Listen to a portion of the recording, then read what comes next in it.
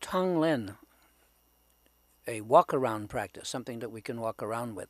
Um, it shouldn't surprise us that the Tibetan Buddhists have a special practice designed just to handle our reactions. And this practice is distinct from any sitting meditation we might do, and the practice is called Tonglen, which in English translates to something like taking and sending and it has to do with gradually becoming aware of our own reactions, you know, our likes and dislikes, and then disarming them. Tong Len is about becoming aware of our, our, our own reactions, our prejudices, likes, dislikes, and so on, and owning and clearly seeing them. We take in or become aware of our reactions one at a time as they happen. And we send out or respond to those reactions with openness and kindness. Literally, we breathe in what we react to, what we like or don't like, including the suffering of others.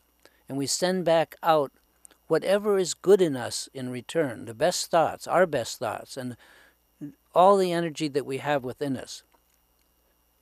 Now, this concept takes some getting used to by Westerners. It took me quite a while. When I first heard about Tonglen practice, I was shocked.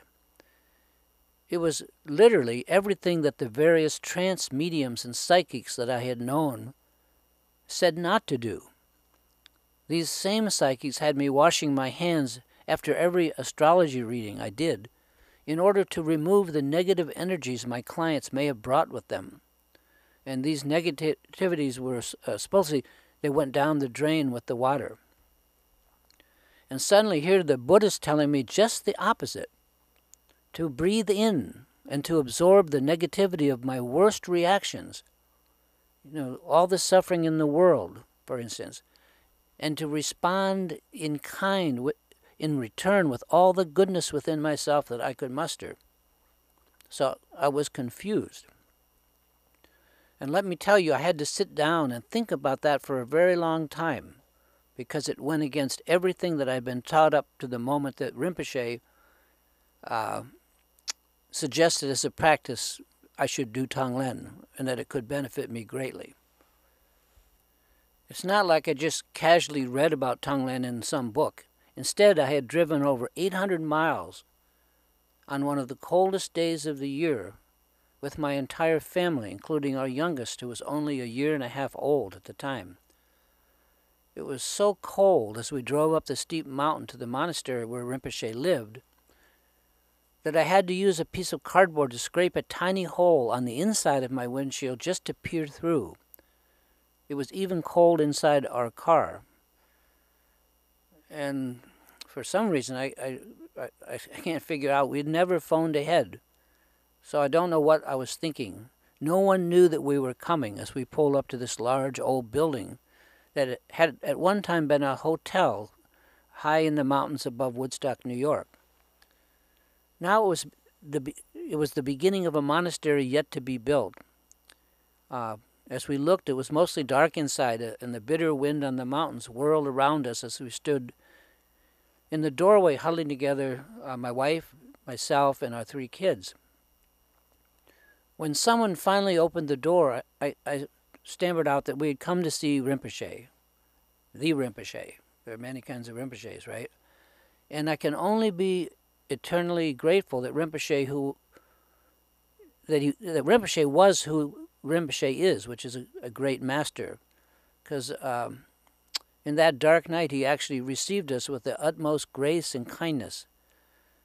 And we talked of many things, but that's an, you know another story. And I bring it up here because Rinpoche did leave us with one request when we parted, and that was to was to begin to learn the practice of Tonglen, which we're talking about here. And he gave us a small book called The Torch of Certainty. uh, and in it were the proper instructions for doing Tonglen. And so, with that, we said goodbye and prepared to leave.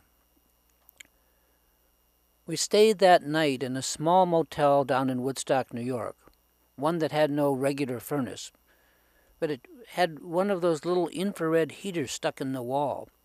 And it was there that Margaret and I turned the pages of the book Rinpoche gave us and first read about Tonglen.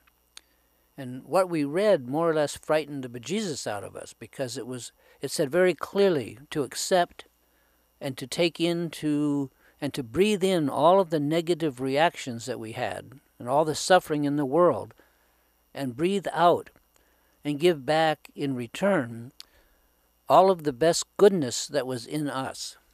Believe me, folks, there was a seesaw moment when we teetered back and forth as to whether to accept Rinpoche's advice and to learn Tonglen or just to cut and run. All of this in a tiny motel room on one of the coldest nights of the, of the year. You know, those days just after Christmas and before New Year's, some, and some 800 long and frozen miles from our home in Michigan. It was probably it was only due to the sense of truth that we saw in Rinpoche, whom we had just met. We barely knew him.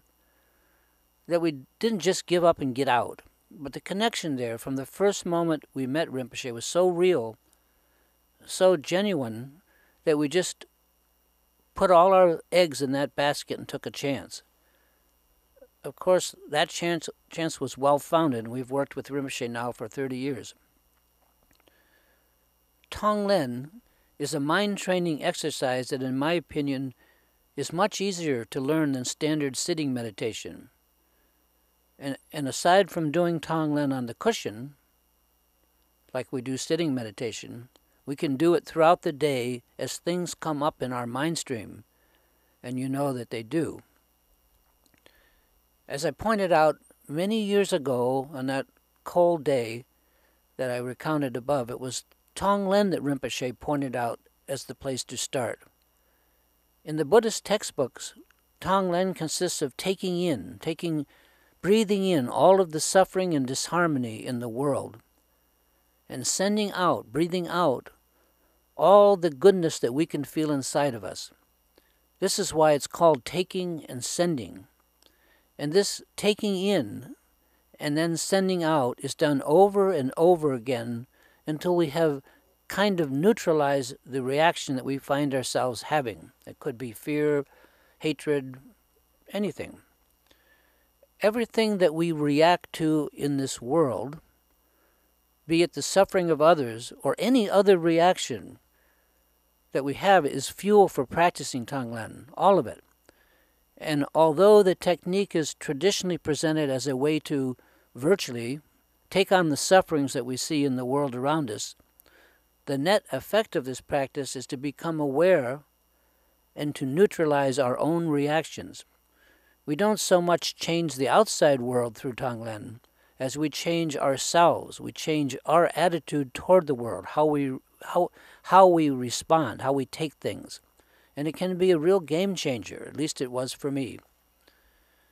So if you're having any problems getting into sitting meditation, or have not noticed much change from that practice, I sincerely suggest that you give Tonglen a try.